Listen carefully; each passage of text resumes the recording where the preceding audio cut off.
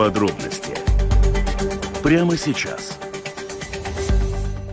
Нынешние тарифы на теплоснабжение не отражают текущие изменения цен на энергоресурсы. Такое заявление прозвучало на заседании одной из а, комиссий Сейма. И, кстати, вот не в первый раз а, звучит мнение о том, что, ну, вообще, это, цены на энергоресурсы снижаются, а при этом тарифы на тепло того же Рига Силтумс почему-то нет. И вот хочется получить ответ на этот вопрос, собственно, когда мы дождемся снижения тарифов на отопление, а по факту, учитывая снижение цен на энергоресурсы, ресурсы. Надеюсь, что сегодня нам э, Валдис э, Витулинш, э, член правления Латвийской ассоциации производителей тепловой энергии, может разобраться с этим вопросом. С нами сейчас на видеосвязи. Добрый вечер. Добрый вечер. Ну, первый вопрос, действительно, почему такая ситуация, что в Латвии цены остаются высокими? Мы, вот я буквально вчера видел в Фейсбуке сравнение тарифа на тепло э, по странам Балтии, и если верить тем цифрам, которые были там, это график, э, в Латвии цены выше и чем в Эстонии, и чем в Литве. Можно как-то объяснить, почему у нас по-прежнему такой дорогие, такие высокие тарифы?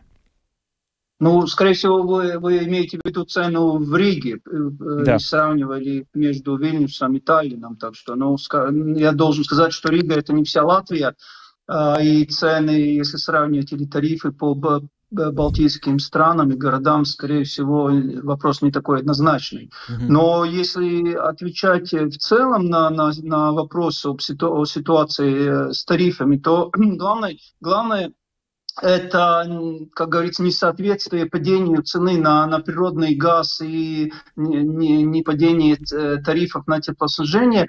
Э, главный вопрос в том, что тарифы на центральное теплоснабжение, они утверждаются э, на какой-то период. И, и они очень сильно зависят от, от вот ресурса, которые мы используем. В принципе, это два ресурса. Энергоресурса – это природный газ и щепа то есть биоматериал.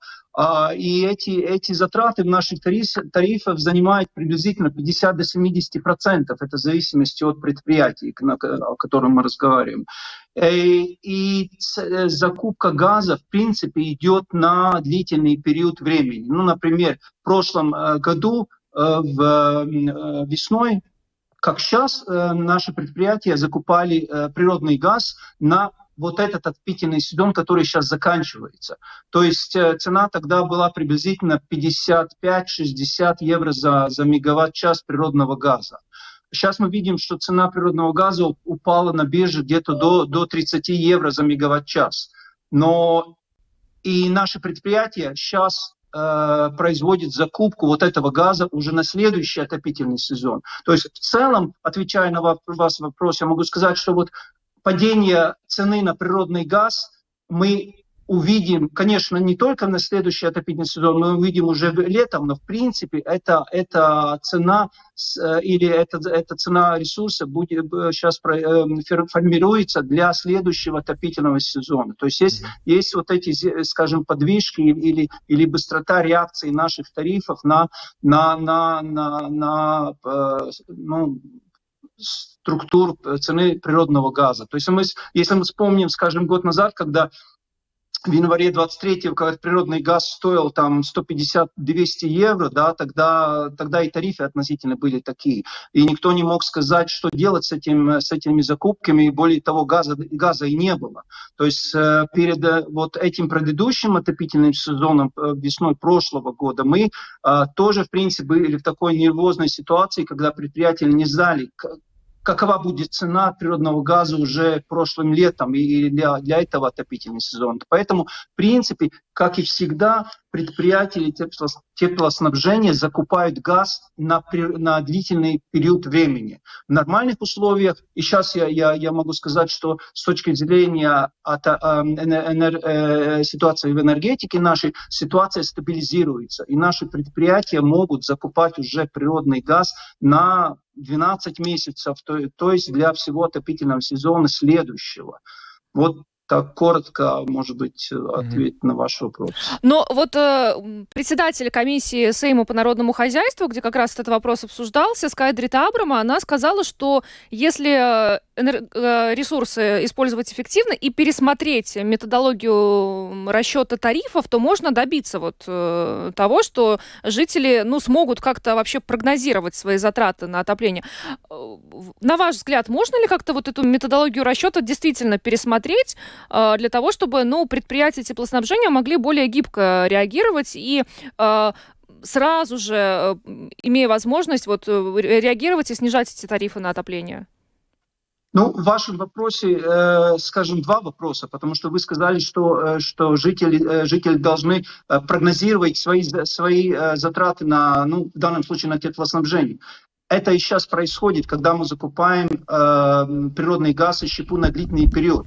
То есть если, если мы хотим э, быструю реакцию, как цена меняется на рынке, это значит, мы должны заключать биржевые, биржевые сделки на месяц, например. И тогда mm-hmm. мы будем видеть да, каждый месяц, каждые два месяца изменения. Но я не уверен, что наши потребители э, захотят так, э, такие тарифы, потому что есть, есть и риск, что тариф, э, при том, что если он пойдет вверх на природный газ, и, и наши тарифы на теплоснабжение пойдут вверх. То есть это, это, скажем, мы должны, мы должны сами э, принять решение. Либо мы играем как в казино и не знаем, какая цена будет на следующий месяц. Если повезет, она будет маленькая. Но если она пойдет вверх, и мы не закупили газ на следующий отопительный сезон, то, скажем, мы опять будем встречаться в этой студии и говорить, почему цены, на, то есть тарифы на теплоснабжение такие высокие. Mm-hmm. Тенденция сейчас со стороны наших э, предприятий в том, что мы а, закупаем газ, и мы думаем, что сейчас газ эм, достиг своего более-менее низшего положения, и мы э, закупаем газ на следующий отопительный сезон. И в этом случае мы э, как раз и заботимся, чтобы тарифы были стабильны. Я бы сказал, что в середине, в середине лета э, или в начале уже лета мы будем знать в принципе, какой будет уровень тепловых тарифов уже в следующем отопительном сезоне 24-25 годов отопительного сезона. То есть получается вот, э, что в Вильнюсе и в Таллине они что, они закупают э, газ по биржевым тарифам, поэтому у них э, цены сейчас ниже оказались, они или как? У них в Вильнюсе, в Вильнюсе и в Таллине они, у них больше, эм, больше в тарифе находится биомасса.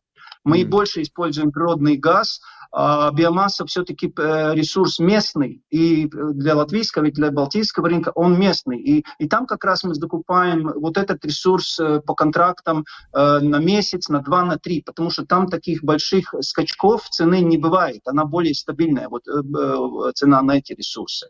Понятно. Так что, но и если мы говорим уже, уже о Риге, то, кстати, Рига до, долгое время была самым низким тарифом в, в балтийских странах. И я бы сказал, что вот этот, эта разница, которая которую мы сейчас видим, или этот уровень, который у Риги есть, а, это, следствие вот этого кризиса, через который мы прошли, потому что цены были абнормальные, да, и, и в принципе, а, сколько газ стоил э, за, за ту цену, и мы покупали, и в Рига в том числе. Так что я, я говорю, я бы сказал, что э, Рига непосредственно, она сталкивается с этой с падающей волной цены э, на газ, э, но тариф идет с, меньшим, с меньшей реакцией из-за того, что у нас длительные, тари, длительные контракты э, по закупке природного газа. Ну, значит, здесь важно донести вообще до потребителей информацию, что э, тариф на тепло не снижается не потому, что Э, там э, компании теплоснабжения пытаются как-то заработать на потребителях, а просто потому, что они изначально закупили это тепло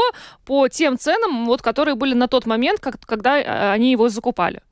И, и однозначно наша компания ни в коей мере не, не, не, не так сказать, нагревают руки на эту ситуацию. То есть если в какой-то момент какая-то наша, наша компания э, имеет возможность закупить ресурс дешевле, не знаю, на полмесяца, на месяц, и это не отражается в данном тарифе, на, данный, на данном случае, то эта компания идет в регулятор и подает опять тариф следующий, в котором э, учитываются вот эти до, дополнительные доходы, и они возвращаются через, через тариф обратно, обратно жителям. То есть никакие дополнительные ресурсы денежные наши предприятия не имеют из-за вот энергетического кризиса. Угу. Спасибо вам огромное за то, что разъяснили эту ситуацию. Валдес Витулинш, член правления Латвийской ассоциации производителей тепловой энергии, был с нами на видеосвязи. Спасибо, хорошего вечера вам. Спасибо. До свидания. Ну что ж, вот такая ситуация складывается с э, стоимостью на тепло. В общем, э, как э, говорят специалисты, никаких оснований считать, что происходит манипуляции с ценами нет. Мы видим, что вопрос э, вызывает э, жгучий интерес, в том числе и у нашей аудитории. Вот мы на WhatsApp получили несколько сообщений с вопросами буквально про то, почему же э, в Риге тарифы такие, а в Вильнюсе и Италии другие. Но вот выяснилось, что дело в том, что удельная вот эта вот доля природного газа в снабжении, собственно говоря, Риги, она выше, и с этим связана вот эта вся ситуация. Давайте надеяться на то, что, как вот господин Витвинш сказал, эм, теперь гораздо проще будет планировать регулировать э, стоимость газа, и уже те закупки, которые будут произведены летом, они будут по более низким ценам, и, соответственно, зимой мы заплатим меньше. Следующий. Следующий. Это же кончился.